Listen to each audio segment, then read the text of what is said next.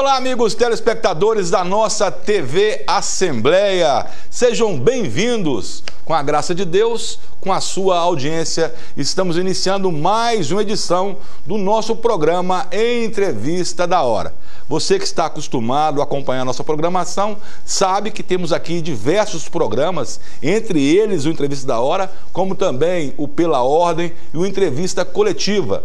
E nós, nesse momento de coronavírus, de pandemia, estamos procurando dar sequência às entrevistas, mas de maneira virtual, justamente por conta das recomendações é, das organizações de saúde, Secretaria de Saúde, para que possamos evitar aí com isso a disseminação do vírus. Eu estou sem máscara porque estou no estúdio, bem distante do meu cinegrafista hoje, o Eudes Vanderlon, também do pessoal da técnica ali, o Wilson Porto e o Júnior Magno Bosco, diretor de operações, gerente de operações da TV assim como o nosso convidado dessa tarde, que é o senhor José Venceslau de Souza Júnior, presidente da FEI Comércio, e que vai nos trazer informações a respeito da instituição nesse momento, nesse processo todo aí de crise e também da pandemia do coronavírus. Eu já cumprimento o senhor José Venceslau e agradeço pela participação conosco nessa oportunidade. Bem-vindo. Boa tarde a todos. Eu que agradeço a oportunidade de estar aqui mais uma vez na Assembleia, na TV Assembleia Legislativa. E muito bem lembrado, né? Eu estou aqui sem máscara, mas a minha máscara está aqui comigo. Nesse momento eu estou falando do meu celular dentro do meu carro que está estacionado. Então é esse o motivo de eu estar sem a máscara, mas a máscara faz parte hoje do nosso cotidiano, não é isso? Ah, Nós com certeza. E parece, que, e parece que por um bom tempo, né, senhor José Venceslau? É, acho que é, essa série Olha, de medidas, assim também como a questão da adoção é, de ferramentas e de outras práticas nesse momento, não vamos, não vamos poder pensar em retroceder no, na normalidade antiga, né? Agora é uma nova realidade e acreditamos que o vírus, em breve, se Deus quiser, passará, né? E nós possamos retomar a nossa rotina, mas não naquela, daquela maneira como antigamente, antes do vírus. O senhor concorda com isso? Concordo plenamente com você. O Covid-19 é um divisor de águas nas nossas vidas. Uhum. É, nós sempre vimos na TV ali no Japão, o pessoal com gripe usando máscaras na rua. E hum. nós aqui no terceiro mundo ficava até achando estranho. É. A partir de hoje, isso vai virar no nosso cotidiano. Eu tenho algumas máscaras, tenho lavado elas diariamente e guardado, porque após o coronavírus eu vou ter o hábito de o dia que estiver gripado ou com dor de garganta, vou estar hum. de máscara. Aquele dia Bacana. que eu for visitar um amigo que está enfermo, eu vou visitá-lo, mas vou de máscara. Hum. Então nós devemos sim adotar essa máscara para o resto das nossas vidas e não só nesse momento agora do Covid-19. Bom, entre outras práticas, né, entre outras adaptações, entre outras ações, eu gostaria que o senhor falasse para a gente como é que o segmento do comércio é um dos mais impactados, a economia está sofrendo é, sob maneira, isso não é novidade para ninguém. É, o senhor que teve nessa conferência recentemente aí, é, da Organização Internacional do Trabalho, é, as medidas que a FEI Comércio também está tomando juntos, junto aos associados e ao comerciante, principalmente o setor de turismo. Fala um pouco para a gente aí desta realidade e desse se virar nos 30, né, nesse momento. É, muito bem lembrado, então, falando da FEComércio, Sesc e Senac, é, para os nossos telespectadores, o comércio representa 66% da arrecadação de CMS do Estado. E o comércio também é o maior empregador do Estado do Mato Grosso, com 54%. Então, o grande gerador de riquezas e impostos e emprego no estado do Mato Grosso é o comércio, tanto em emprego como em arrecadação. Logo no início da pandemia, em março, é, nós fizemos a primeira reunião na FEComércio, onde nós convidamos os líderes de segmento, e nessa reunião no nosso auditório, com capacidade para 540 pessoas, nós convidamos 86 pessoas. Na entrada, nós já distribuímos um kit de higienização e uma máscara. As pessoas estavam brincando, e aí, mas isso é para usar? Olha, todos que é para entrar na reunião, é para manter o distanciamento de três em três pessoas e o uso obrigatório de máscara. As pessoas estranharam e fizemos essa reunião, onde que nessa reunião nós levamos a proposta para todos os segmentos comerciais do estado do Mato Grosso para nós fazer a cartilha de retomada do comércio. Pessoal ainda brincava, a retomada como? Nem fechou, mas vai fechar. Nós temos que antever. Tivemos reuniões com o nosso governador, com o nosso prefeito Emanuel Pinheiro, onde a FEComércio, junto com o SESC e SENAC, nós elaboramos a cartilha de retomada do comércio. O que, que era essa retomada? É justamente isso que nós estamos falando.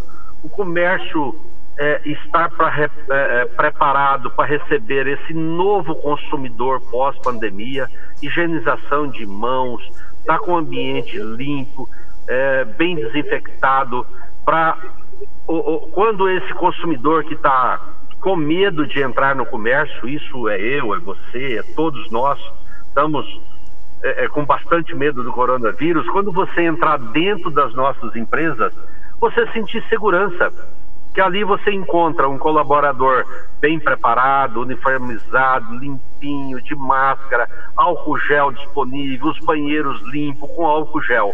Isso transmite segurança para esse novo consumidor. Esse consumidor que ele está recluso há quase 90 dias dentro de casa. É, eu tenho dito sempre, esse consumidor que está ficando bem acostumado no conforto da sua casa, entrar na internet e fazer a sua compra com segurança e receber essa mercadoria em casa. Então, nós do comércio temos que reinventar a roda, reinventar tudo aquilo que a gente vinha no comércio. Porta aberta, entrava o cliente, atendia ele, um bom preço e ia embora. Hoje, o consumidor quer mais ele quer segurança, quer confiança de entrar naquele comércio que ele vai fazer a sua compra. Então, nessa cartilha, retomada do comércio, que nós distribuímos ela online há quase 70 dias atrás e ela foi impressa, essa cartilha foi copiada pela prefeitura, pelas prefeituras do interior, por outros estados. Então, a FEComércio, SESC e SENAC foi precursora dessa ação. E continuamos nesse meio tempo todas as tratativas com o governo de estado, quando o governo é, decretou que era obrigatório o uso de máscara, nós estávamos lá avalizando isso uhum. e dando apoio. E fomos às redes sociais para apoiar o uso de máscara e orientar. Logo em seguida, as nossas entidades distribuiu máscara gratuitamente nos hospitais, nas creches, nos asilos, fizemos um trabalho intensivo quanto a isso. Logo após o SESC em distribuição de máscara, produzindo, utilizando o nosso pessoal, produzindo máscaras de pano e distribuindo na periferia de Cuiabá para as pessoas carentes. Então nós estamos ativamente trabalhando é, é, na reabertura do comércio, através da FEComércio, CDL, FCDL, Associação Comercial, Facmate e outras associações, nós assinamos, junto com o prefeito de Cuiabá, um termo de corresponsabilidade, aonde nós estamos também assumindo a, a responsabilidade da abertura do comércio, que isso aconteceu lá em 27 de abril. O que, que aconteceu logo após isso? Nós colocamos na rua em Cuiabá e nas cidades onde nós temos a unidade do SESC e do SENAC, a nossa equipe de saúde fazendo um trabalho dentro do, das empresas de conscientização para os empresários e colaboradores. Junto com essa equipe, nós levamos um kit de higienização das mãos, um kit uhum. de máscara, um kit de sabão líquido. Distribuímos isso em todos os comércios e fazendo esse trabalho de orientação. O comércio abriu, precisava reabrir, porque a economia não só de Cuiabá, Mato Grosso, toda a economia é baseada no comércio, com esses uhum. números que eu passei no início, que 66% da receita do Estado vem do comércio. Uhum. O comércio está reabrindo com todos os cuidados e prevenções.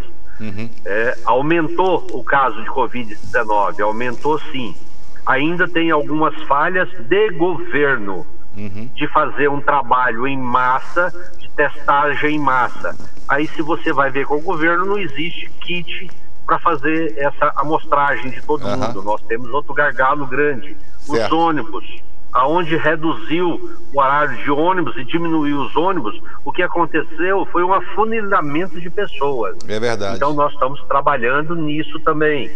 Fomos trabalhar junto com a prefeitura uhum. na reabertura dos shoppings, bares e restaurantes. Uhum. Porque esse setor que ficou 60 dias fechado, grande parte dele, que já vinha em dificuldade financeira desses últimos quatro anos, onde o Brasil quase quebrou, uhum. essas pessoas também já estavam numa situação difícil. Uhum. Aqueles que estavam em situação difícil, provavelmente não vai reabrir o seu comércio, nem bar e nem restaurante, e assim dentro do shopping.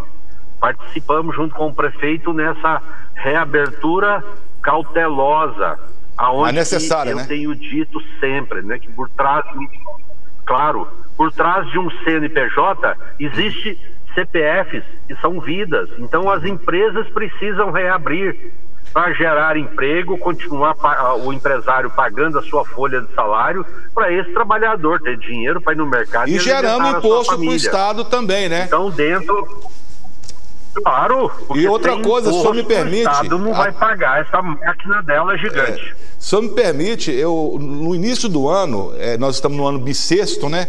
Para quem não esqueceu, nós estamos no ano Sim. bissexto e no início do ano nós conversamos com alguém aqui da Secretaria de Fazenda, eu não me lembro bem quem foi que esteve conosco aqui, e que estava comemorando esse ano bissexto, porque um dia a mais de arrecadação significaria um incremento, né? né? Então você imagina, se um dia a mais de arrecadação dá essa diferença, alguém comemorar como comemorar no início do ano, imagina agora 60, 90 dias fechados, né? Muitos segmentos aí estão parados desde o final de março. Pois é, é, nessa linha de raciocínio, fomos falar com o nosso presidente da Assembleia, nosso presidente Eduardo Botelho, que nós precisamos de colocar dinheiro na economia. Então já estávamos no comércio de rua aberto e logo em seguida viria os shoppings, bares e restaurantes com todo o cuidado, né? Uhum. Restaurantes com mesas separadas de dois em dois metros, certo. com higienização e o máximo de ocupação de 50%. E a mesma coisa no shopping. O, o, nosso presidente Eduardo Botelho recebeu nós muito bem, como sempre, e a proposta que nós levamos para o Eduardo é que a Assembleia Legislativa pagasse o 13 terceiro antecipado para todos os servidores. E parece que vai ser pago agora, dessa folha de folha de pagamento. Vai ser pago de julho agora. Isso, Eduardo na folha Botelho de junho que recebe em julho. nós muito bem. Eduardo Botelho recebeu nós muito bem, gostou da ideia e naquele dia ele já assumiu o compromisso e postou nas redes sociais que pela primeira vez na história da Assembleia Legislativa os servidores da Assembleia, todos os servidores, iriam receber 50% do 13 terceiro, a partir de julho agora. Então, uhum. no mês de julho, a folha de pagamento da Assembleia Legislativa e mais a folha de 50% do 13 terceiro, ela dá em torno de 22 milhões. Então, são mais 22 milhões que vai circular na capital e parte do interior. Isso é uhum. é para fomentar o comércio, para uhum. dar vida ao comércio. Então eu quero aqui agradecer mais uma vez o nosso presidente da Assembleia, Eduardo Botelho. E outras ações também. Houve. Estratégica. Houve, inclusive, se me permite, desculpe interromper, a gente está com Houve também outras é, iniciativas aqui da casa, da mesa diretora. Aliás, no início dessa crise toda, é, até as pessoas costumavam comentar aqui, né, que virou um muro de lamentações, uma peregrinação muito grande de diversos setores buscando aqui o apoio para tentar uma linha de financiamento, é, enfim, é, é, o acesso a crédito, e foram tomadas para diversos segmentos ações nesse sentido. Né? É, por último, inclusive, teve aqui o pessoal das vans que trabalham com frete na área de turismo aqui no estado, e eu gostaria de saber do senhor justamente nesse sentido. Como é que o senhor está acompanhando aí ah, o pessoal do segmento? Eu sei que todos eles Todos os segmentos no comércio estão impactados, é claro, uns mais, outros menos. Eu estou comentando a respeito do turismo porque Mato Grosso tem aí né, uma grande parte é, do, é, desse segmento representa, o turismo representa grande parte do comércio aqui no estado e de empregos também. Como é que o senhor está acompanhando isso e quais são as medidas é, efetivas da FEComércio nesse sentido e também do pool, do trade turismo aqui no estado, senhor José Venceslau?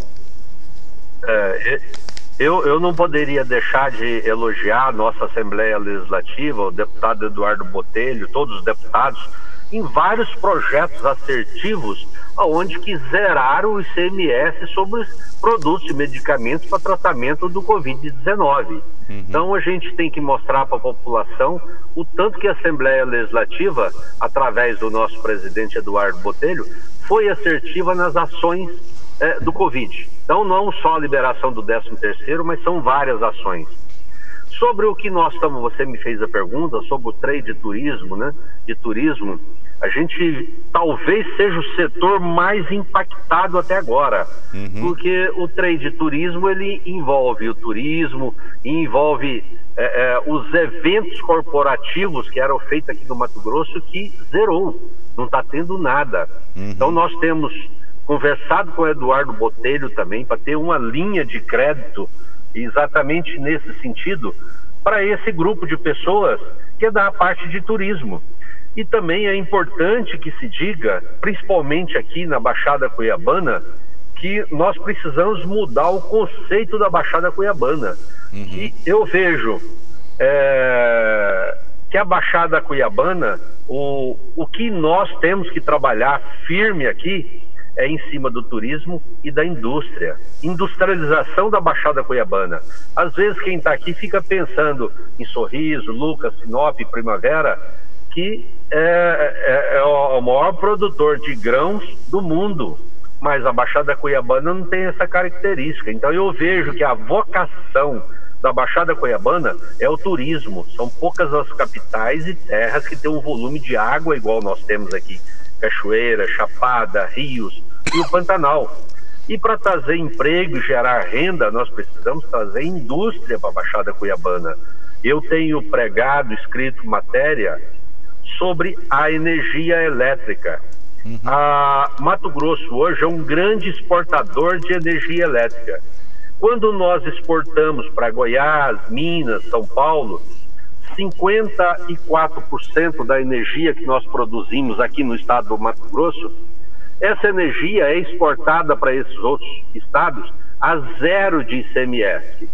Isso quer dizer, nós estamos fomentando o trabalho, a indústria, o, a renda, a riqueza em outros estados.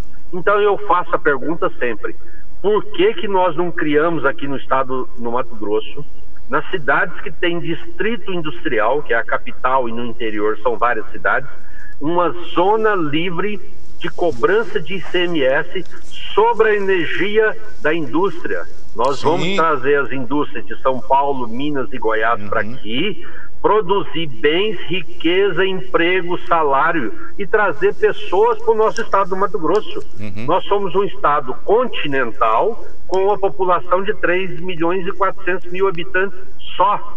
Então, essa é a proposta para industrializar o nosso estado do Mato Grosso. Uhum. Vamos cobrar zero de ICMS sobre o consumo dessa energia. Uhum. Mas vamos cobrar ICMS sobre o produto que essa indústria vai produzir aqui. É uma maneira de industrializar o nosso estado. Que hoje nós exportamos proteína para outros estados, mandamos a soja, mandamos o milho, mandamos a pluma de algodão para ser beneficiado em outros, é, outros estados. Vamos beneficiar isso aqui dentro.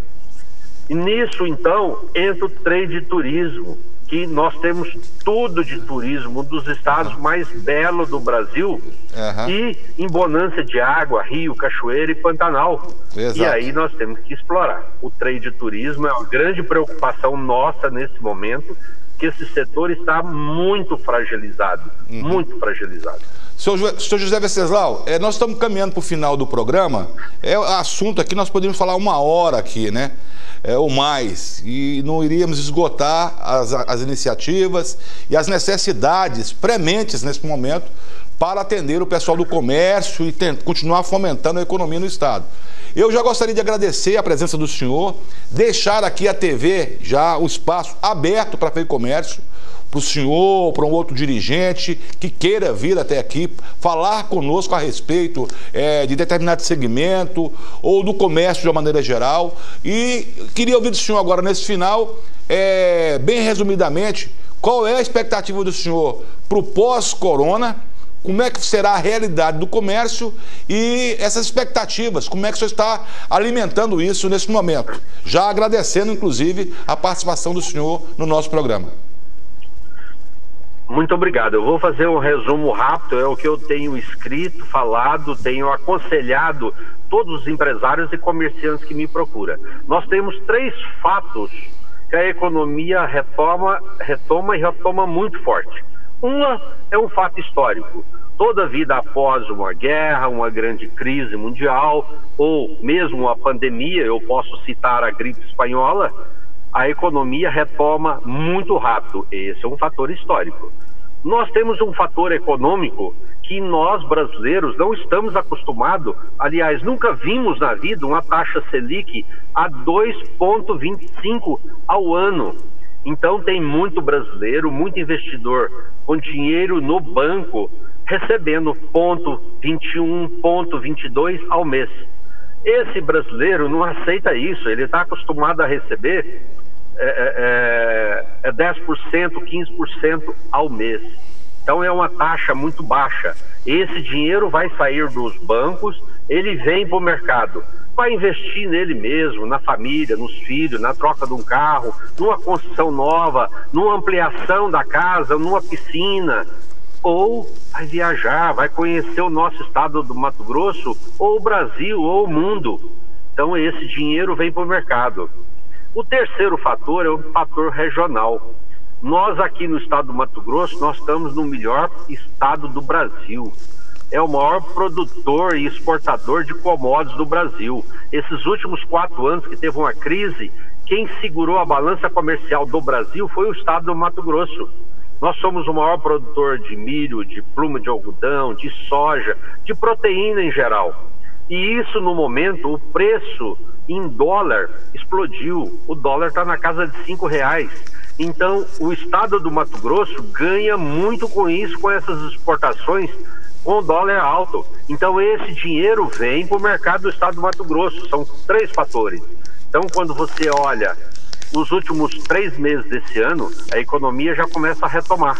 E quando você vê a projeção de 2021, Mato Grosso vai a todo vapor. Então eu tenho dito para os empresários: administre seu negócio, segure o leme, administre as contas, faça um, pegue um capital de giro para salvar a sua empresa agora no banco ao juro justo, lembrando que ah, o nosso juro nunca esteve tão baixo assim. Uhum. Pegue um, um, um capital de giro com um banco mais honesto e jogue essa dívida para médio e longo prazo.